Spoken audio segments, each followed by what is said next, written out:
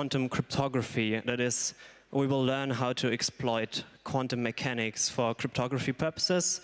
And I think also we will do a little bit of relativity in it. I don't really understand how you can combine quantum mechanics and relativity without getting loop quantum gravity or string theory, but I guess we will find out. And our teacher today will be Christian Schaffner, who is currently at the University of Amsterdam. Please give him a warm round of applause. Thank you.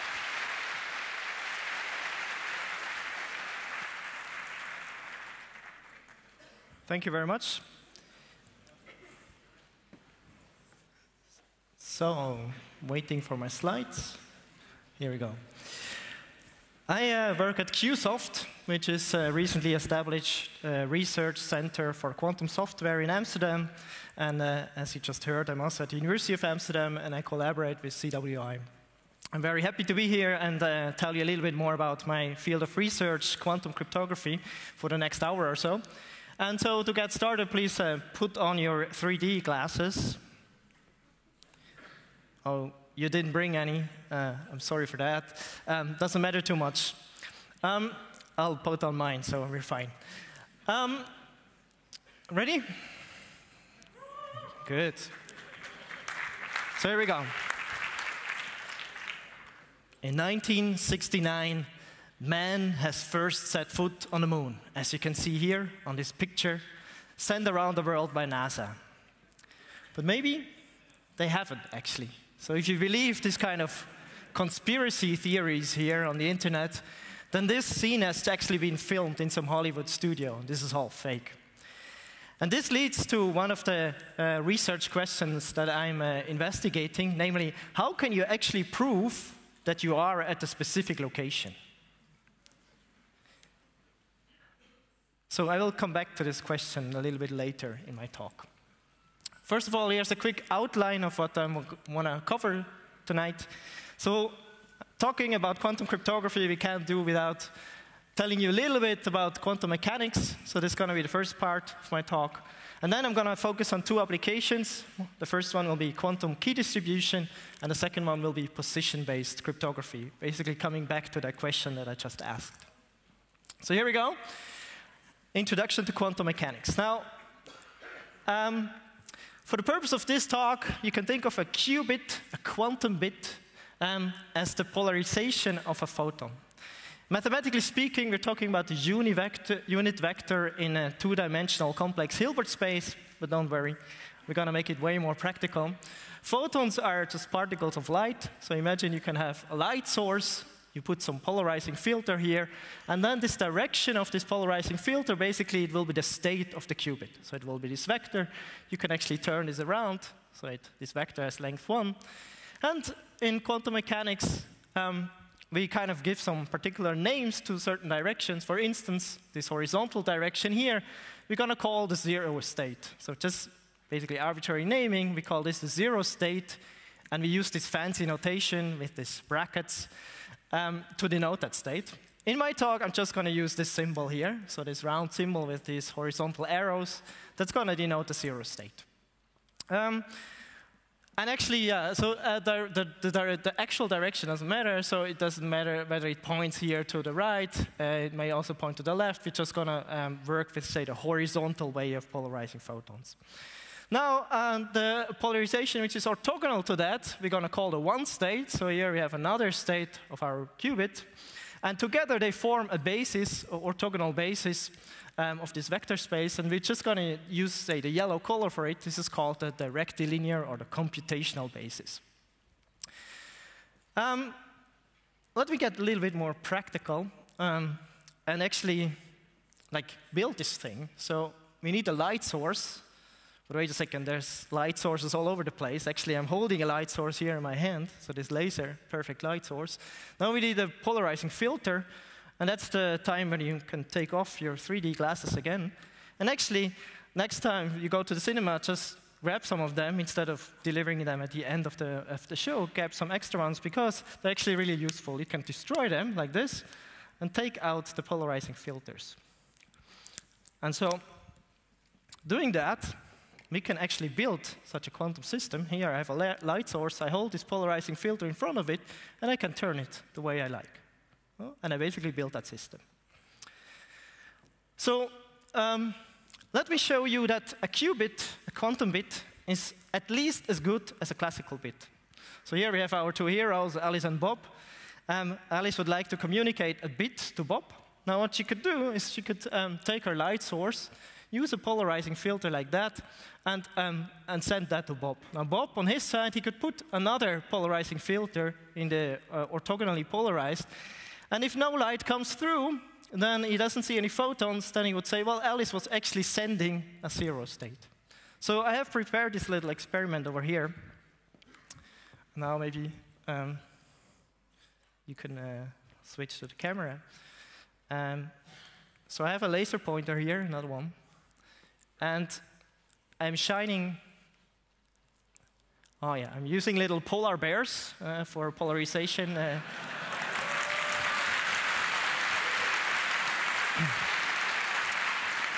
you can, uh, you can get them very cheap uh, if you go Christmas shopping now. So here's the laser. Um, I, I, shine through both of these lights, and you see over there, right now Alice is sending a zero, and uh, this other filter is uh, 90 degrees uh, polarized, so there's basically almost no uh, reflection here in the ground. If I turn this, then actually you see this um, point there is getting much more brighter. So uh, here's we're about, it's not a perfect filter, but it's pretty, pretty good. So now the, the light is almost gone. Okay, you can see, so maybe switch back to my slides. You can see um, using this technique, we, um, we can send classical information to, to, from Alice to Bob. Um, in particular, if, if Alice is sending uh, the one state, then if Bob puts his filter, the light will go through. And therefore, if he sees photon, he knows Alice was sending a one. So we can use qubit to send uh, zeros and ones. And in fact, what we're doing, quantum mechanically speaking, is a so-called measurement. So Alice is sending a state, and we're doing a measurement in the computational basis. The outcome of a quantum measurement is a classical bit, it's either zero or one, and this happens with a certain probability. In this case, if Alice is sending the one state, then with probability one, Bob will actually get uh, one as an outcome, and nothing changes in the state. Uh, so far, so good. Now, let's do something more interesting. And um, what you can do with a qubit is that you cannot only polarize it, say, in these two directions. What you can do is you can do stuff in between. You can just rotate your filter arbitrarily. And we're going to call this state, which is kind of 45 degrees between 0 and 1, we're going to call that zero state as well, but in, a, in another basis, namely in the diagonal basis. So we have two more states, this one and that one. And we're going to use the red color for that uh, in this talk. And so these are these two states here, the zero state in the diagonal basis and the one state in the diagonal basis or Hadamard basis. And together they form uh, this another orthogonal basis.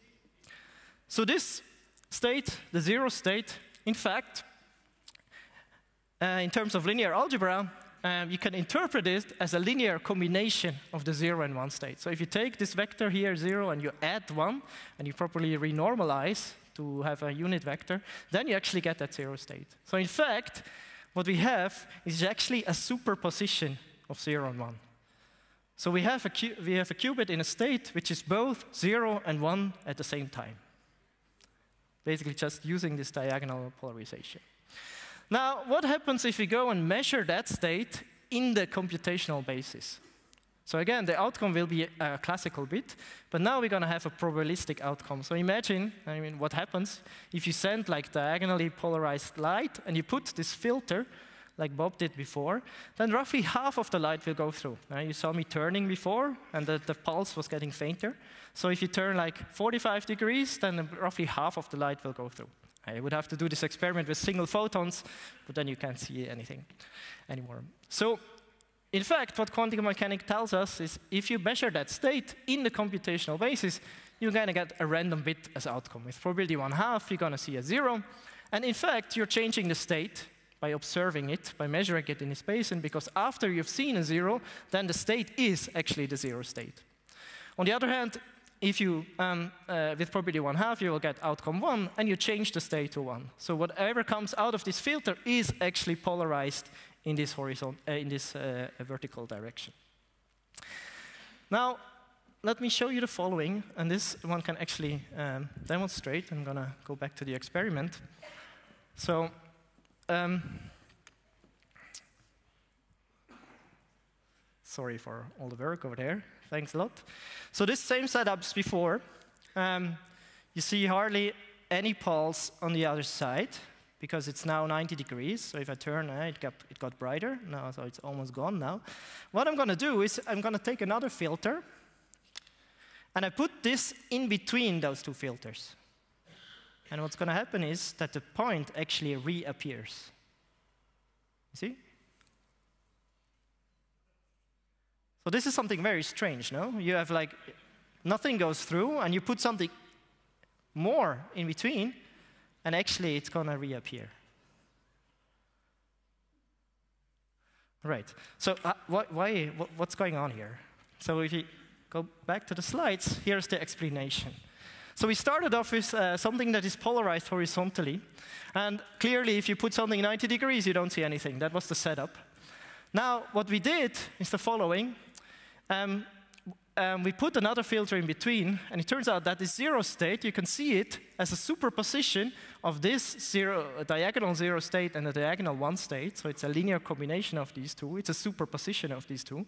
And once we put this diagonal filter in between, we actually measure in that basis, for instance, obtaining uh, uh, the zero state, only letting light through that is in this direction. And in fact, as I said before, I have changed the state to that. So I've changed the polarization of the light roughly half of the light is going through um, from this horizontal direction to the diagonal direction. And now, of course, if I put another, the other filter in between, now then roughly a quarter of the light is actually going through.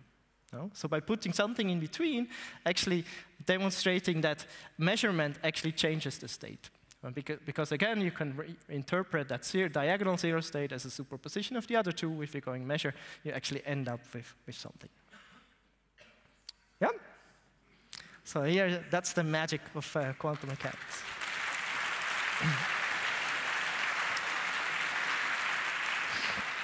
Thank you. So here's a, a, a quick summary. Um, what we've learned so far, there are funny states. You can actually produce them. It's not that hard. Um, we use the yellow and the red color for it. What you can do is you can measure them. Let's take the one state, measure it on a computational basis. You will get with probability one, outcome one. You don't change the state at all. If you happen to measure the state in the wrong basis, say uh, the, this one state in the, in the diagonal basis, your outcome is a random bit. With probability one half, you see zero, and you change the state to the zero state. And with probability one half, you get a one, and you change it to the other state. So that's basically all you need to know for now. And with that in hand, we actually enter the wonderland of quantum mechanics. Um, we've already seen stuff that can be zero and one at the same time. Uh, it's kind of a superposition of zero and one. And in fact, um, uh, here is Schrödinger's cat, you might have heard about. This is a, a thought experiment, a Gedanken experiment, where you have some, um, say, qubit that is uh, in a superposition of zero and one, and it kind of, in this box, uh, there's a setup so that, uh, say, conditioned on the outcome being one, there's some poison released inside this box that will actually kill the cat.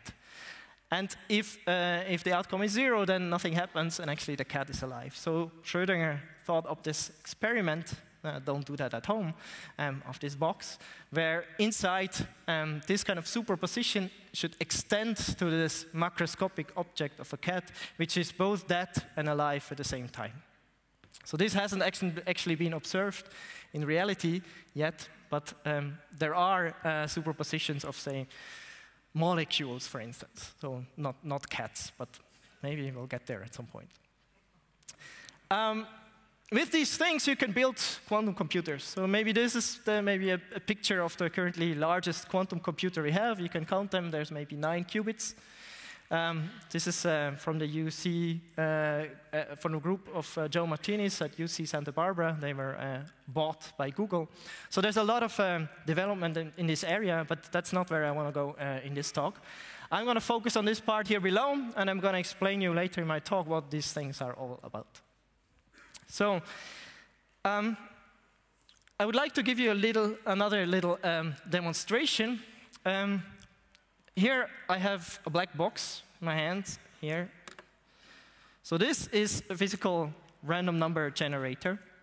It's connected through a cable here to the USB port of my um, computer.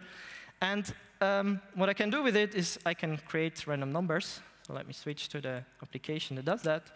Um, now, basically, here you don't see much. There's just a green LED uh, flashing here, and it's connected uh, here. You can see the serial number, then I can choose what I want to do. Let's say I create integer numbers between 0 and 1, so bits, maybe um, a thousand of them, and press generate. And here we go. Random bits that nobody has ever seen before. Great. Thank you. So how does it work? If you uh, look that up and go to the producer's website, ID Quantique in uh, Switzerland, they, they tell you that inside this box, there is a light source, like this one that I'm holding in my hand, a laser, that emits qubits, like things, states that we have seen before. Um, and they're shot onto a semi-transparent mirror. Again, this is like nothing fancy, actually. Um, uh, um, yeah, the semi-transparent mirror, it lets the photons either go through to this side or being reflected to the other side. And this should happen roughly with probability 50%. Here are some photon detectors that detect which side they took. And um, then there's some classical uh, post-processing. And in the end, you end up uh, with random numbers. So there's a lot of stories to, to, to tell about this device. Uh, again, unfortunately, I don't really have time for that. Um, however, the point I want to make here is that for this, you don't need any quantum computer. Uh, so th th there's no quantum computer inside here. There's basically just technology um, that we can actually build. The only thing we need for this is quantum communication. And so this is something that we can actually do uh, nowadays.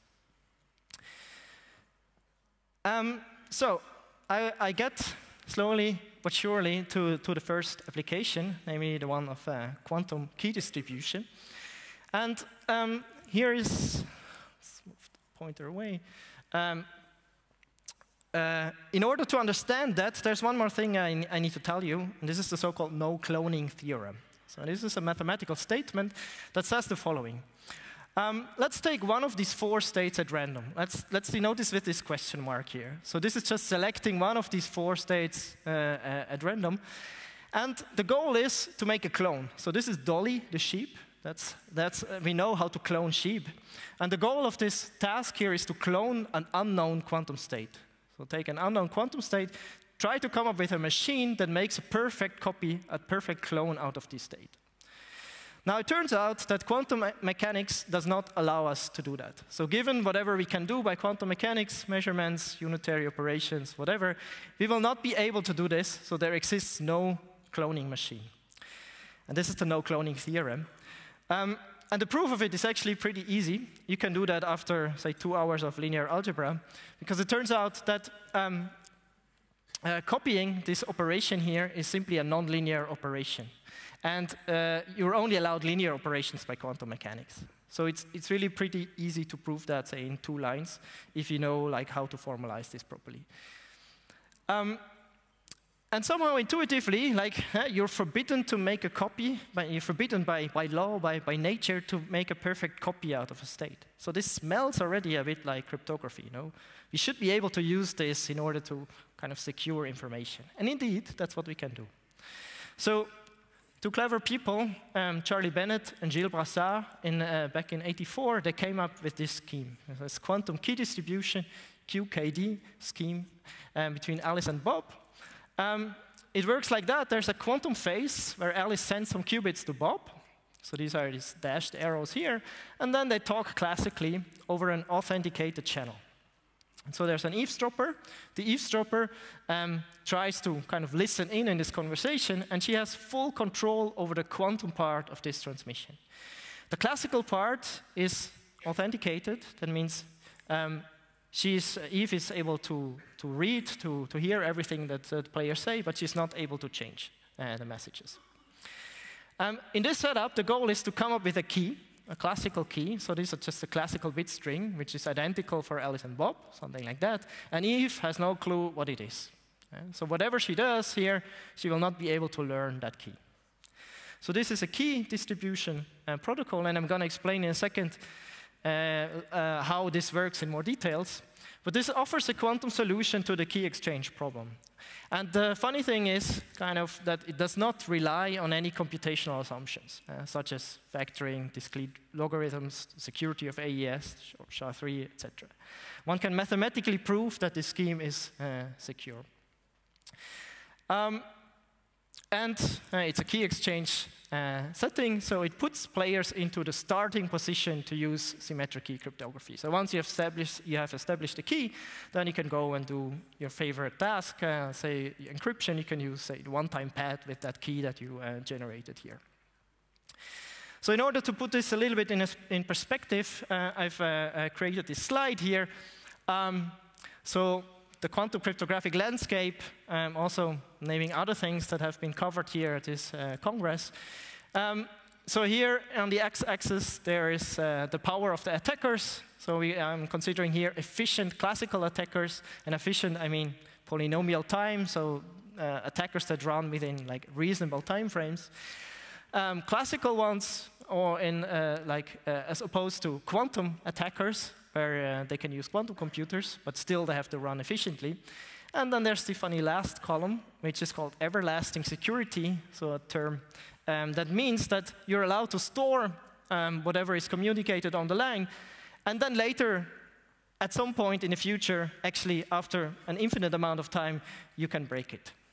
And therefore, um, all these things will fail to, to a brute force uh, attack. So if you look at AES or SHA, um, then we're pretty confident that this is secure against efficient classical attackers. I mean, there's no proof for it, but that's what we believe. People have looked at this uh, uh, for long. They probably also secure against quantum attackers. You just have to make sure that you use long enough keys, and uh, in case of hash functions, that you use long enough outputs. But of course, they will fail against somebody who has just an infinite amount of time. Um, then um, uh, if you saw Dan's talk and Dan and Tanja's talk yesterday, then there's Shor's monster here. So this is this big red box here, where that will, that will come and break um, RSA and discrete logs. So everything, basically every public key crypto system that is currently used on the internet will be broken by efficient quantum attackers, whereas we are uh, confident that uh, they resist classical attackers. And then the area of post-quantum crypto kind of kicks in and tries to fix that and coming up with different uh, new schemes. And this was the topic of uh, Dan and Tanja's talk yesterday, namely hash-based signatures, the McEliece encryption scheme, maybe lattice-based uh, crypto. But more research needs to be done in order to really be more confident that, that these schemes actually do resist classical as well as quantum attacks. Um, now, what I'm going to talk about and what my research is about is about this last um, column here. And this is uh, basically giving, like, using more technology on the honest player side, so it becomes more, more difficult, technically speaking, and also money-wise, to implement these things. For instance, you can use QKD, which we can mathematically prove, because we don't rely, rely on any computational assumption that it's secure, and, the, and the, what I see as the biggest advantage of a QKD system is that, the, that the attacker actually has to act while the protocol is running. So it really has to kind of attack it at the moment when it's run. And if, if this attack is not successful, then from that point on, whatever key is generated will be secure forever. And so, of course, it's interesting to kind of take this technology if you can afford it, if you can somehow implement it, and combine it with, uh, say, uh, more conventional schemes to actually get the best of, of both worlds. And that's also how current uh, implementations do it. All right, so um, let me explain you in a bit more detail how, how it works. So uh, in this protocol, in this BB84 protocol, um, Alice starts off picking random bases. So she, she picks a string of, uh, say, red, yellow, red, yellow, yellow, at random. She also picks a random string of bits, say 0, 1, 1, 1, 0, and then she encodes these bits into that basis. So we get back this kind of one of the four states we've seen for each position as before. And that's what Alice sends over the quantum channel to Bob. Now, Bob, he has no clue what these colors are. He cannot see that from the qubits that he receives, and so he has no idea what the basis is that Alice was actually using. And what he's going to do is just pick another random basis. So he picks another basis at random, say yellow, red, red, yellow, yellow, and measures in that basis. So he doesn't need to store anything, he can just do this beforehand, and as soon as the qubit arrives, he can measure immediately. So it turns out if he was lucky and he picked the right basis, well, then he will also recover the right bit. No, that we have seen how, how that works. If you happen to measure in the wrong basis, say you a yellow qubit in the red basis, well, then you just get a random bit, which might agree with what Alice had in mind, but it also might not. So we don't know. So how to get kind of solve this problem? Well, Alice is going to classically tell Bob, say, hey, look here, this is the, the string of bases that I was using, say red, yellow, red, yellow, yellow. And now Bob knows where he actually measured correctly. No? So he sees, oh yeah, um, these first two positions, they were no good. I measured them in the wrong basis, so let's throw the results away and just keep the rest where I measured in the, rest, in the correct basis. So he also to, has to tell Alice about that. So classically, again, he can tell Alice, hey, let's throw away the first two positions. I didn't measure there correctly, so let's just throw those out. Okay, and what remains, they basically have as key. You know, so that becomes the key that they're sharing. But wait a second, uh, it's, it's not that easy. After all, there's the eavesdropper. So, as I said, the eavesdropper has full control over this quantum communication here. Um, and that means that, well, luckily, uh, we kind of try to use this no cloning theorem because um, well, Eve doesn't know the basis either, so for her, it just looks like one of these four states picked at random. And we've seen that the no cloning theorem actually forbids her to make a perfect copy out of it. Classically, you could just copy everything that flies by on the line, and you would be exactly in the same position as Bob is. However, quantumly, it's not that easy because you cannot simply make a copy. And therefore, that's the tricky part, the honest players, Alice and Bob, they can actually test whether somebody has interfered. Because Eve can try to make a copy, but we've seen kind of measuring, observing a state actually changes the state. And therefore, there's a kind of a trade off. The more she tries to learn about that state, the more she will actually interfere with it. And therefore, there will be errors in that remaining part here.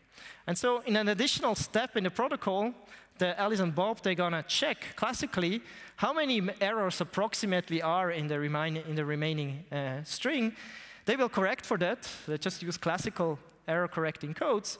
And then they do another step called privacy amplification. They basically hash it down to something smaller. And all this together will actually make sure that, so they might have to sacrifice some more positions, they might have to, have to apply some additional operations, but they eventually end up with a smaller key about which we can guarantee, we can actually mathematically prove that Eve doesn't know anything about, about it. So in order to do this, this is really pretty tricky. So mathematically speaking, you actually have to follow, say, a whole course about uh, quantum information theory in order to give a mathematically sound proof of this statement that I just outlined here. But intuitively, yeah, it, it, it's not that hard to, to grasp. All right, so um, as I kind of showed with this device, this is something that we can actually do. The honest players, they only need to generate some photons, polarize them. I've done it over there. And Bob, he just needs to measure them upon reception. So it's technically feasible. We don't need any quantum computer. Well, Eve might, but we don't care. I mean, we only care about the honest players. We only need quantum communication. And in fact, this company that's producing these random number generators, it's not a coincidence, they also produce quantum key distribution devices, like this one over here. So that's something that you can actually go into a store or a web store and buy it. It's pretty expensive. Um, However, um, these devices are out there, and that means that they can also be hacked. So you could just go and like open this thing up. It will look like that inside. And it's an older, an older model. But these, these kind of rack, standard rack-sized uh, black boxes that are connected by some optical fiber. And um, well, commercially available. That means there's also people who actually hack them. So this is a picture of um, Vadim Makarov. He's originally from Russia, he's now at the University of Waterloo. He runs a quantum hacking lab, and he has opened, so this picture is done by him, he's opened these devices, um, also the random number generator, of course. And here's a little picture of him um, actually at a, uh, at a camp in the Netherlands uh, at HAR, hacking at random in 2009, where he brought his little suitcase, well, little, his uh, eavesdropping suitcase that allowed him to actually hack uh, commercially available uh, QKD systems. I don't want to know how he got through customs with that, but um, he, he actually managed. He, he has lots of stories to tell about this. Okay, so, so, so that's kind of the state uh, uh, of the art of, uh, of, of, quantum key distribution. And um, yeah, I think I am approaching the, the last part of my talk. So I'd like to come back to this question. Remember the question? The moon, yeah. How can you actually prove that you are at a certain location? So let's see.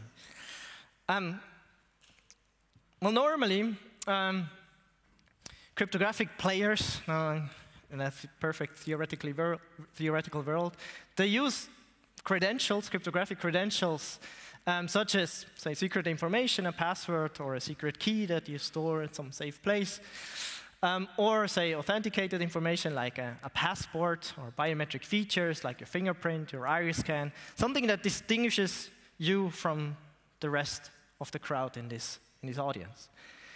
Um, the question I would like to ask here is, can the geographical location of a player be used as such a cryptographic credential?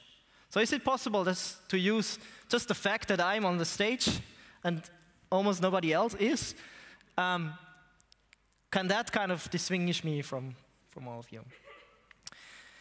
Um, first of all, this sounds like a bit, bit of a strange question, but if you imagine, say, the, the, the setting of a, of a bank, where you just walk in uh, and you see some person behind the counter that you've never met before. Just the fact that this person is standing behind the counter kind of makes you trust this person with all your financial uh, details.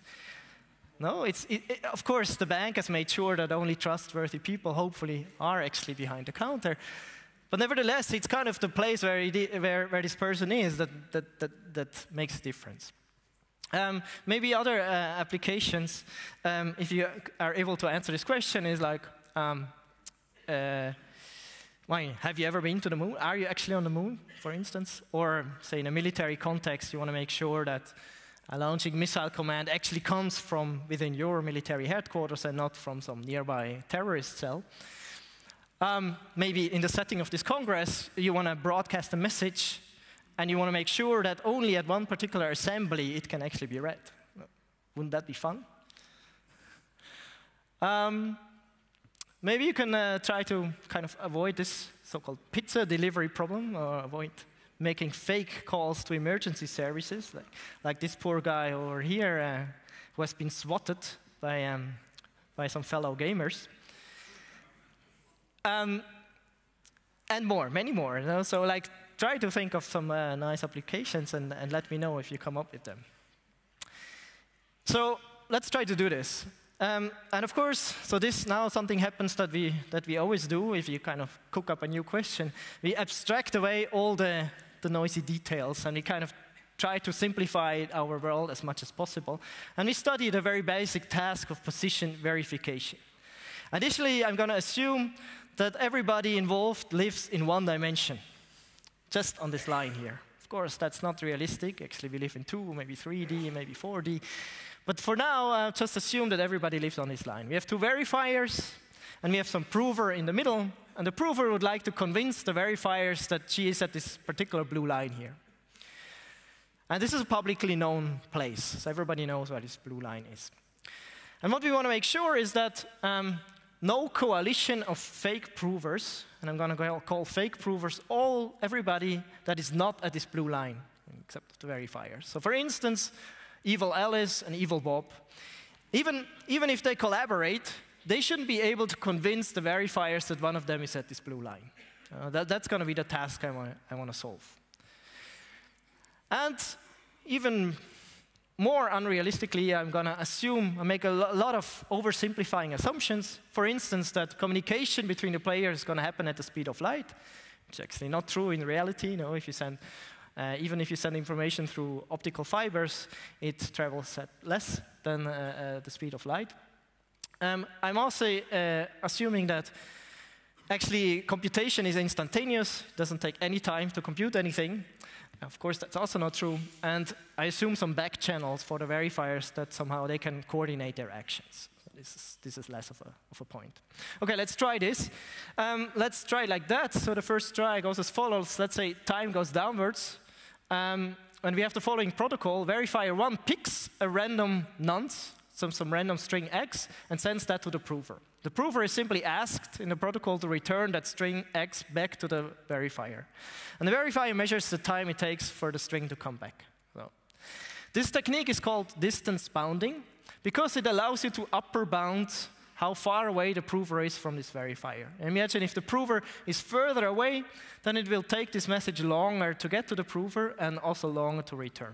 So if you know when the message arrives, eh, if it's the original message, then you can somehow put an upper bound on how far the prover is away. And so if you do this also from the other side, let's say we choose another random string y and let the prover return it over there, again, we'll measure the time it takes, then hopefully you are able to verify that somebody is at this blue line. So let's try to break this, setting up our evil Alice and evil Bob. And actually, it's not very hard to break this protocol because uh, what they can do is Alice can intercept this classical message X, and they know where this blue line is, so they know when the honest prover would return it, so it just waits for the right amount of time and returns that message back uh, to the verifier after that that amount of time. And Bobby does the same thing. Intercepts Y, he waits a little, sends that back to Y. And to the verifiers, this looks exactly as if somebody has been at this blue line. So they cannot distinguish this situation of the attackers from the situation when there is an honest prover at the blue point. So they completely break this protocol. It doesn't work. Let's have a second try, something more clever. Let's send this X and Y, still uh, classical inputs, so that they arrive at the same time at the prover. And let the prover compute some function on these inputs.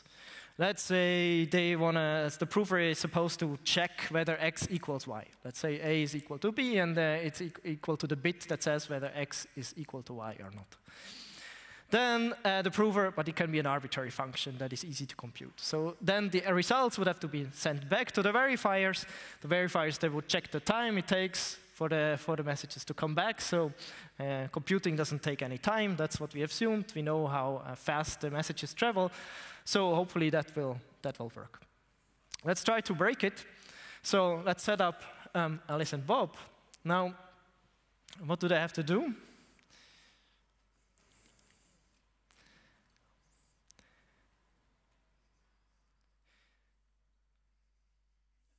Yeah, suspense.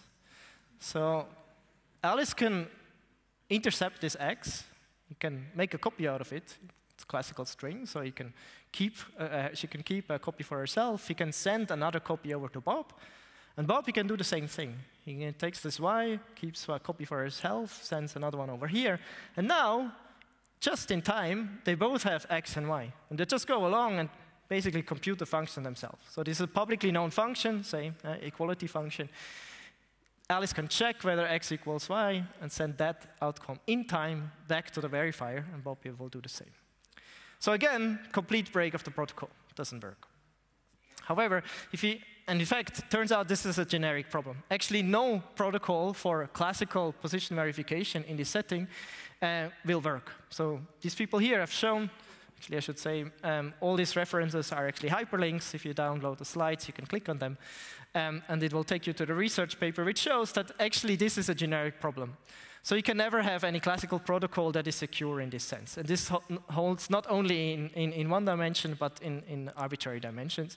Because simply you can set up um, attackers between the claimed position and the verifiers. They intercept everything that comes along and forward it to their fellow cheaters. And they will be able to run the same function as the honest prover is supposed to run. And thereby uh, making it look to the verifiers if somebody was there.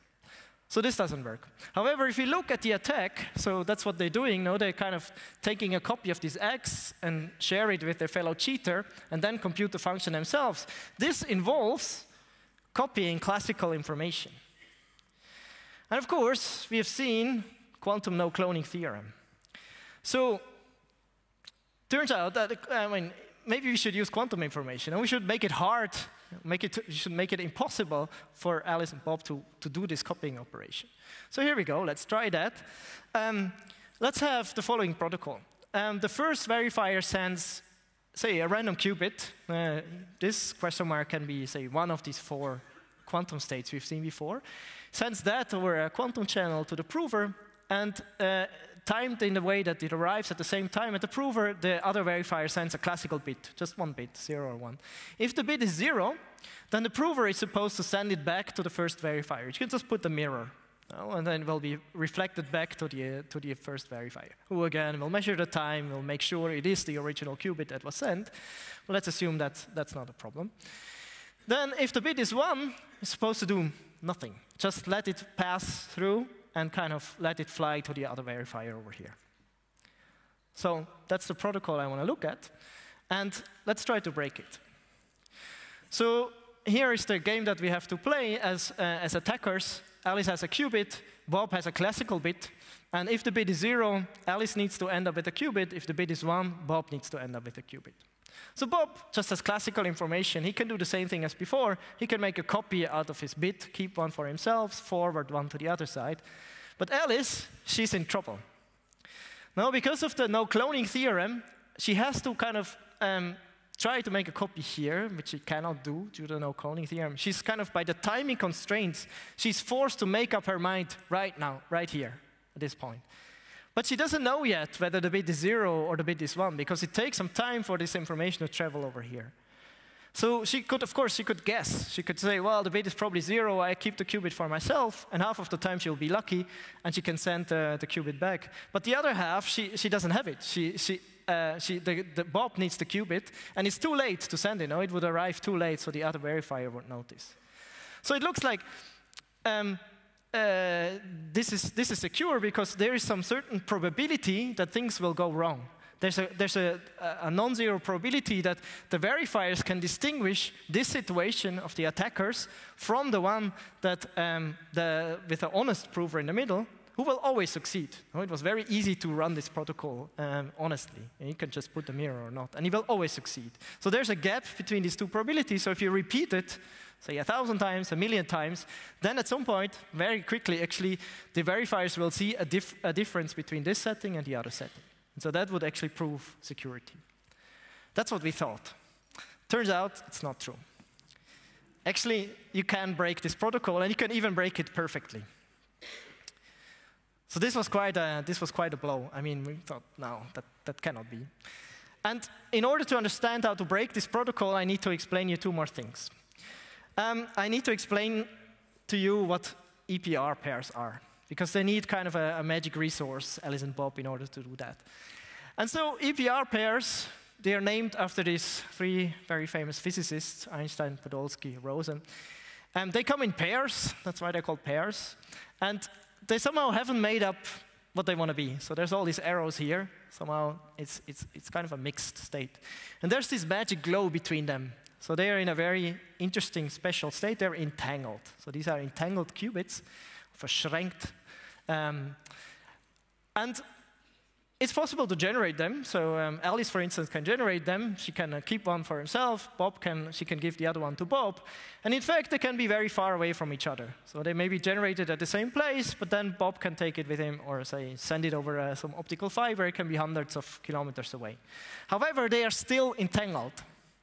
And what that means is that, for instance, if Alice goes and measures her qubit, say in a computational basis, then, because this guy hasn't really decided yet what he wants to be, you will actually get a random bit as outcome. With probability one half, you're going to get a zero, and you collapse the state to the zero state. And with probability one half, Alice will get a one, and she will collapse the state to a one.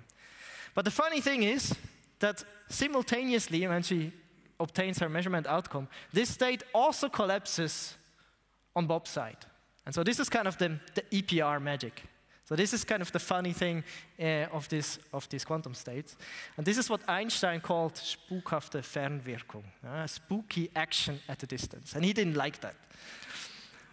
Um, so what that means is, for instance, if Alice uh, observes a zero, and the zero state, and Bob's state is also a zero state, it means if he goes and measures it again in the computational basis, he will now get probability, with probability 1, he will get the outcome 0. He will get, observe the same bit as Alice did before. So to Einstein, this looked like, mm, that's no good, because that seems to contradict my uh, theory of relativity. However, it's actually not true. So I didn't quite understand, but these EPR pairs, they do not allow to communicate information. So it's a difference whether, so here they allow, it allows them to get a shared random bit, because when Alice measures, she will get a uh, random bit, and Bob, when he measures, he will also get the same random bit. So it's just a shared classical random bit. It's not information that Alice had in mind, say, I want to send a zero to Bob, because once she does her measurement, the outcome will be random.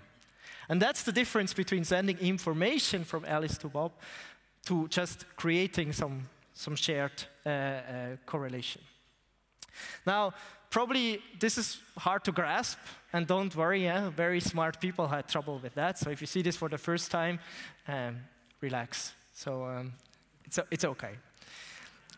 Um, if you have this, um, then we can actually do quantum teleportation. So um, we're not going to do the Star Trek version. We're going to do the version that was cooked up by these people over here. Um, actually, a long time ago, 93, um, it works as follows. So let's say Alice and Bob, um, they have such an EPR pair. Actually, this has been demonstrated many, many times uh, experimentally, so this is something that you can actually do. Um, they share an EPR pair, they might be far away from each other, and on top of that, Alice has an unknown qubit. And that qubit, this qubit over here in this unknown state that she doesn't know, she would like to teleport to Bob. So she would like this qubit to end up on Bob's side. Now what she can do is she can do a kind of complicated measurement that I haven't talked about on her two qubits. So she will do a so-called Bell measurement. And uh, this is a measurement on two qubits. It's the half of the EPR pair that he shares with Bob, together with the qubit that she wants to teleport. The outcome of this measurement is again going to be classical. It's classical two random bits, actually random bits. So say, uh, say 0, 1, 2, or 3. And um, magically, because of the entanglement, this state will, this qubit will appear on Bob's side. However, it will not appear in the clear, it will appear in some encrypted form. Actually, this is the analog to the classical one-time pad, so XORing with a random bit. This is actually the quantum one-time pad, because it's actually XORed in a quantum way with two classical bits. Because if um, Alice sends this classical outcome sigma over to Bob, then he is able to unlock this encryption and actually recover the original qubit. So this is the procedure how um, quantum teleportation works. You have to do a bit, um, uh, you have to have an EPR pair. You have to do a Bell measurement. You get a classical outcome. That outcome needs to be sent to the other person. And once you know that, you can undo the encryption of the state in order to recover this original qubit here.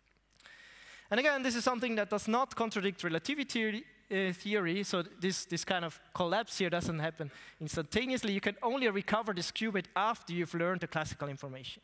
And so it takes some time for this classical information to travel from Alice to Bob, no, if they're far apart. And so there's, there's no information going faster than the speed of light, because you have to wait for the sigma before you actually get the state that was uh, in Alice's hand before.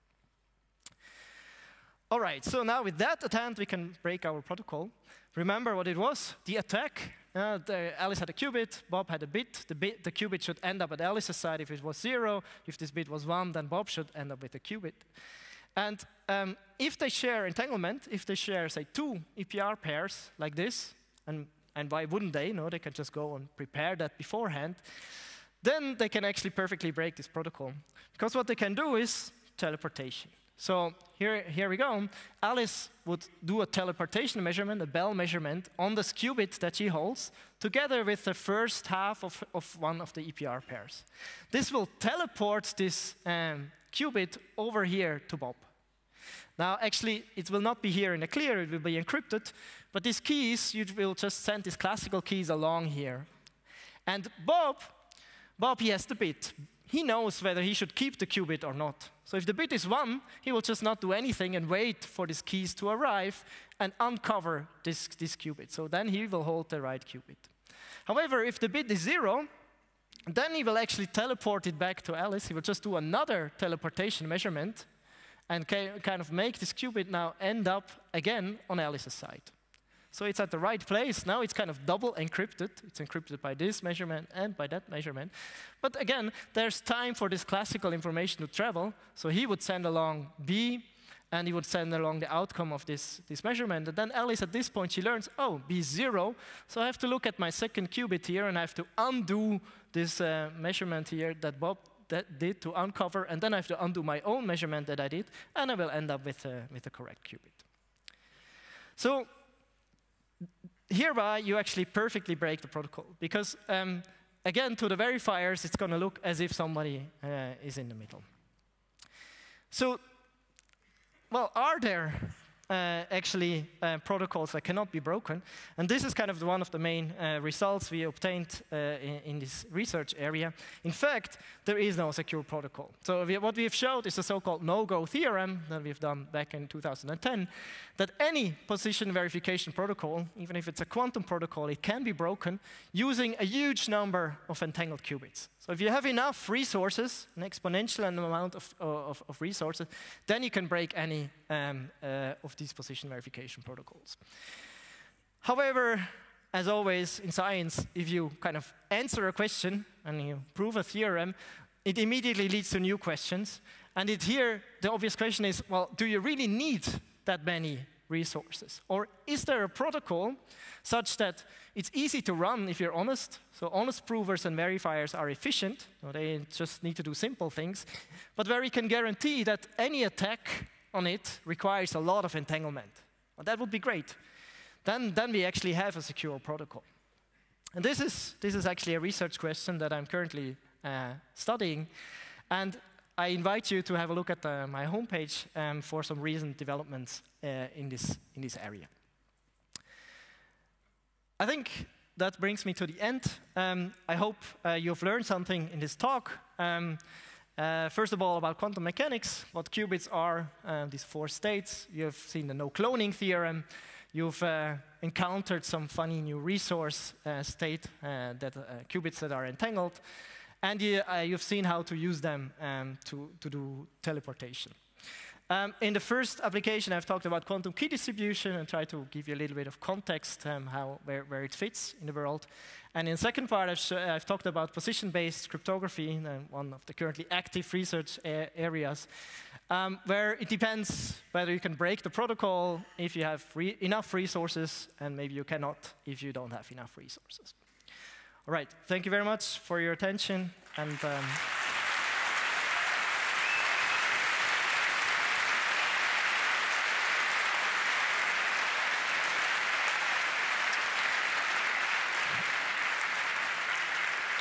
We now have some minutes left for Q&A, so please line up at the microphones. This is an exceedingly well-mic'd room, so you have eight microphones to choose from. Just line up at any one of them, and I will call you when you can speak. Yeah, and please try not to walk in front of the cameras when you leave. This is very annoying for the people on the stream. Also, the people in the stream, if you're on the IRC channel or on Twitter, you can just ask questions there. We do have an internet person here that will read your questions. Microphone number two, please.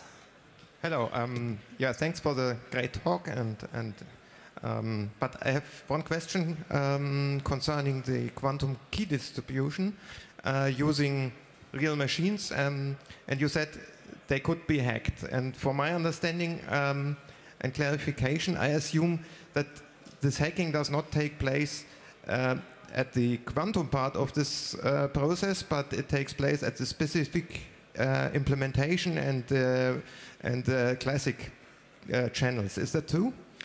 Yes, of course. So with any system you implement, even if you can show security and prove security in our perfect uh, mathematical model, uh, we have to make sure that we actually model the reality. And in reality, things are way more complicated. You have to use photon detectors. And in fact, in this particular case, it was the, the, the photon detectors that were attacked. So you were, uh, the, Vadim was able to actually blind them by shining in a lot of light. So they are very sensitive. They normally operate on a single photon level.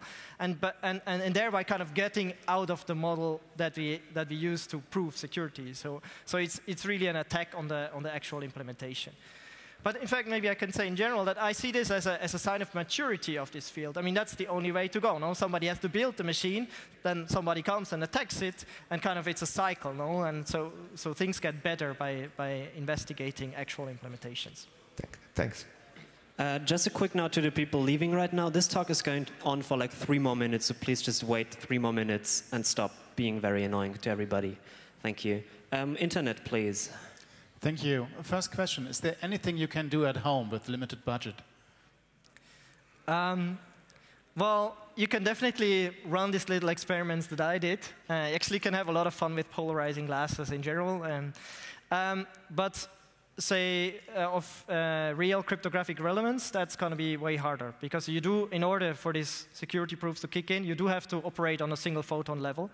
And this is, this is very uh, delicate uh, to handle. So you need some photonic lab uh, in order to do that. Microphone number one, please. So one comment, because you were commenting on our talk from yesterday, the post-quantum talk. I mean, if you are using uh, AES or if you're using any authentication code, you are back to computational assumptions, hardness assumptions. So when you had your overview table, you were still claiming you have infinite long-term security, while at the same time you're combining it, and that's just not true. The other comment I have is, um, so how about my mobile communications? How about the most common use of internet via Wi-Fi? Okay. Um, so um, your, concerning your first question, I think we should take this offline. I mean, I, am happy to explain it to you. Um, your second comment, of course, uh, so in that sense, uh, this research is not uh, I, am assuming a very strong model for this position verification, where basically, uh, as I said, I call kind of fake provers all those that are not at this claim position, and they can even there can be even coalitions. So in that sense, it's not realistically modeling uh, um, uh, a real-world scenario. Oh. Into the mic, please. I'm speaking into the mic. Okay. Um, I'm not talking about the second part. I'm talking about like what would uh, QKD give me for the normal crypto applications, ah, okay. like mobile phone Wi-Fi. Okay. Um, well, as you know, uh, it, it, it's quite a, a, high demand, say, on the hardware side that you have to have in order to run this protocol. Of course, there's also a lot of efforts to actually miniaturize those uh, devices so that maybe at least one part is actually um, portable, in a sense. Um, and uh, the, the, yeah, the best kind of uh, add-on that QKD uh, can offer is this everlasting security that you have to kind of uh, be active attacking actively attacking at the point of execution. And if you're not successful in that then then actually the rest of uh, uh, the time the security will be guaranteed. So i will have lasers sorry uh, we have lots of people queuing. Please discuss later. Thank you. Um, microphone four please um, correct me if I'm wrong, but you need a direct line for this kind of thing to work, right? So if you have any routers or something in between, then it won't work because you need to read it out or make a copy. Um, just clarifying, are you talking about the second part or the first part or both? Um, both, I okay. think. Um, well, for quantum key distribution, uh, that doesn't matter too much. So you're, you're perfectly fine routing your cables around corners. You're using optical fibers. For the second part, it's actually kind of crucial. You're right. So it's all about timing there.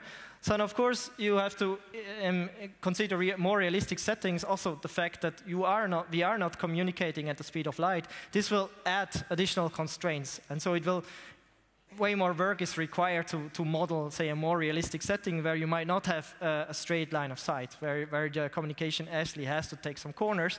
And so you might end up not with one particular position you can verify, but with a whole interval, um, so where you can make sure that somebody is. So, but these are things that we are currently uh, working on to, make, to, to, to model things more realistically.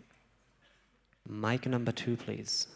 Um, hello, uh, I think Tanja had a similar question, but uh, you said you have no computational assumptions for QKD, but you need this authenticated channel. That's right. And the authenticated channel, you do it with classic crypto with either an HMAC or RSA signature. So you have the computational assumption again. So I think this whole QKD thing is kind of circular.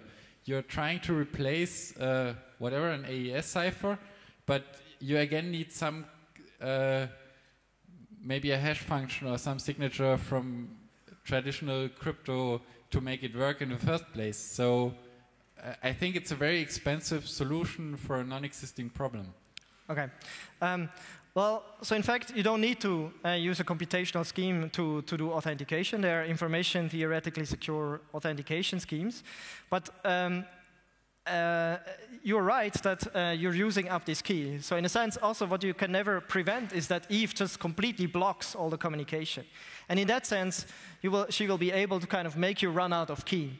But what it does add uh, is that, that uh, this, this feature that I already told Tanja, namely that, that you have to be active at the moment of execution. So this, this is kind of the, the, the upgrade to, say, classical schemes. Unfortunately, we are out of time, so please thank Christian again. Thank you.